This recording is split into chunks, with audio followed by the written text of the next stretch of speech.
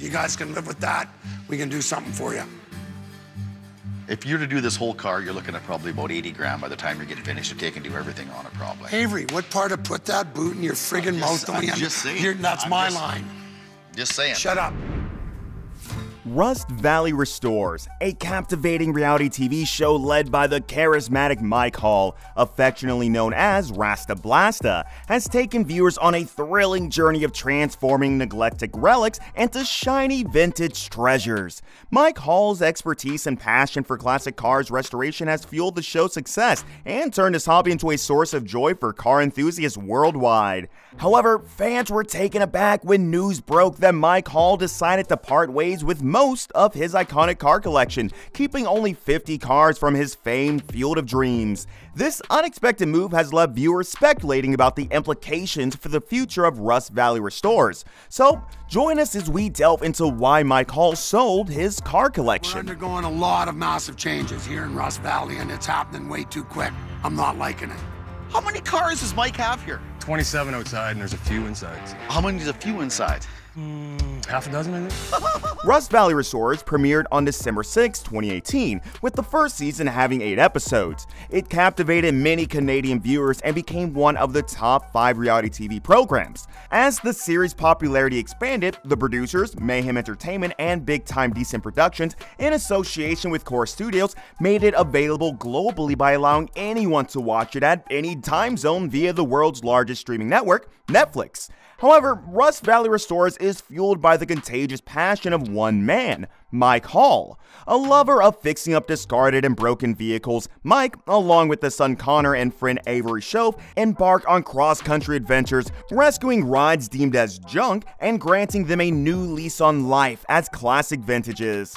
These adventures are exciting. Picking cars worth saving is an art form. However, the real magic and bulk of the work unfolds at Rust Bros Restorations. These once forgotten rust undergo a metamorphosis in this haven, evolving from mere scrap metal into roaring, road-worthy machines. The process becomes entertainment with Mike at the helm, a testament to his decades-long expertise in restoring cars since the 1990s, earning him a globally recognized reputation.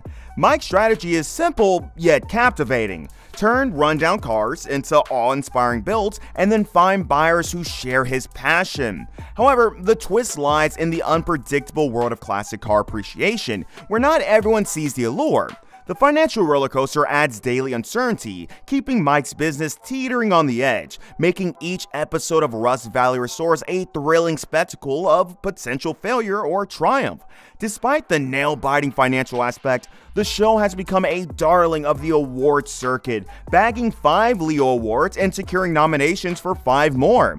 In 2020, Rust Valley Restorers dominated categories like Best Screenwriting, Best Picture Editing, Best Cinematography, and Best Information, Lifestyle, or Reality Program. It also gained a nomination from the Canadian Screen Award for Best Direction in a Documentary or Factual Series in 2018. Fast forward to 2022, and the show continues its winning streak, clinching another Leo Award in the coveted Best Information, Lifestyle, or Reality Program or Series category, with four more nominations adding to its glory. Hope he at least breaks even. Start turning it. Because otherwise, it is like a black hole. Any money he has is going to get sucked in, and he will never see it again. More. Oh, is that as hard as you can push, Abe? Yeah, yeah. The secret ingredient to this success? Mike's unwavering passion for classic cars. While some might label Mike as old fashioned for his commitment to authentic techniques and parts over modern technology, this uniqueness sets Rust Valley Restorers apart. This dedication to restoring cars to look new and preserving their rich history resonates deeply with classic car enthusiasts. Whether unique or not, Mike needs money to keep Rust Valley Restorers afloat, and the losses made on the restored projects make one wonder how the shop still exists. Could this be the reason why Mike sold his car collection? Before we reveal that, let's delve into how Mike makes his money in the first place. Every episode of Rust Valley Restorers shows us that Mike Hall has a knack for sniffing vehicle cadavers, but when it comes to making a profit, that is a problem.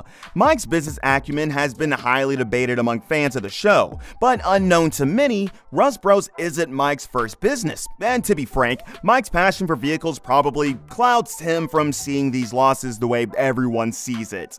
Mike was born in Boniface, Manitoba, Canada in 1956. He was raised there, but moved to Kamloops in British Columbia when his father got a new job at CP Rail. Following his dad's business, Mike gained an interest in anything mechanical, and it was here his passion for cars would arise. His first guinea pig was the family car, which he worked on in the garage, and then he learned other machinery functions. As Mike grew older, he moved out and started his own business. It was a slope stabilization business called Chimera Springs Rock Works. When asked about his business, Mike described it as hanging from cliffs and blowing stuff up. However, little research shows that it's a process of maintaining the stability of inclined soil or rock shops to withstand or undergo movement. What Mike really did while he worked at Chimera Springs Rock Works was to restore rock face sculptures and create safe environments wherever he took the work. With this business, he made enough money to kick back and enjoy his true passion cars. While he ran his business, he would use his weekends to look through old garages, junkyards, and scrapyards, looking for hidden gems worth restoring. Mike kept collecting cars he thought were worth fixing, and he did manage to restore a few. Then, he moved back to British Columbia and opened Rust Bros Restorations. Rust Bros Restorations hoards and repairs hundreds of muscle cars, and at some point, the number of cars owned by the shop was 562. As of 2023, Mike's net worth is estimated to be around $5 million, so he's definitely not broke. Mike is rich enough to fund his passion. Acquiring over 550 cars is no joke, and despite being junk, it must have cost him a fortune. The truth is, having almost 600 cars is a lot of vehicles, especially for someone over 60 years of age. Mike didn't sell his cars because he was broke or had a need for money. He sold them because he didn't think he had enough time to restore them. In the show's fourth season, Mike's son Connor posted a video of their place on Instagram saying the 5 acre property was already sold. Surprise, let me spin this camera around for a sec. So, down there is the Field of Dreams. All right, we got, you know, stuff everywhere, cars, pretty much every corner you can see. This is a five acre chunk of land here, and we think it's sold. The property is the same one that housed Mike's Field of Dreams. Connor didn't say how much the property was sold for, but in 2017, it was listed for $1.5 million. So, as of 2022, when Connor announced news of its sale, plus the popularity the show has added to the property, it may have sold for more. After the sale of the property, Mike announced that all the cars in his field of dreams were also for sale. The reason was that the new owner of the land gave them six months to get rid of the cars so they could take over. The deal was that if the cars weren't sold in the six month period, they would be crushed. Mike has been holding on to his field of dreams and doesn't want to let go, but now he doesn't have a choice. This reason combined with the fact that he's not getting any younger and has received his first senior citizen check, his field of dreams needs to go now so he can make financial arrangements for his loved ones.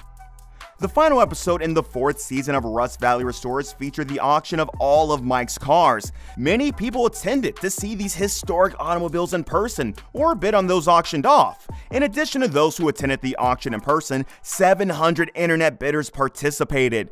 Mike didn't want to be there at first and was having a panic attack, but Connor and Avery persuaded him to come to say goodbye to them properly.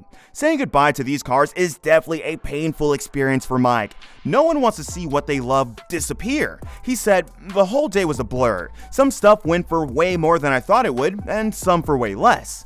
This shows that Mike's decision was not driven by a lack of love for these automotive treasures, but rather a desire for a less cluttered property, providing his family with much needed breathing space. Mike also hopes that this downsizing move will grant him the precious commodities of time and money, allowing him to ease off on the relentless pace of his restoration work. Connor also shares his sentiments. His dreams seem to diverge from the sea of vintage vehicles his father owns, and the family saw the sale as a pathway to align their priorities. Despite the inevitable pain of parting with his beloved cars, Mike found solace in knowing that these automotive gems were finding new homes. During the auction, Mike witnessed young people and families eager to embrace these relics and breathe new life into them. It was a poignant realization for Mike, reinforcing his belief that these cars would be cared for and rebuilt, ensuring their legacy will live on. In the end, Though Mike intended to trim down his collection significantly, sentimentality prevailed. The auction concluded with Mike deciding to keep 60 cars for himself, unable to part with all of them. This not so surprising twist showcases Mike's deep connection and passion for these vintage vehicles, demonstrating that sometimes even a seasoned restorer like him can resist holding on to a few cherished classics. He made around $750,000 from the auction, but as soon as he auctioned the bulk of his collection, he was already buying new ones. Before the fourth season ended, he took delivery of another abandoned classic car. Mike's friend, Avery Shoaf, hinted that Mike might start collecting cars again on a new property. That prediction might be pretty close. Some habits are quite hard to shake.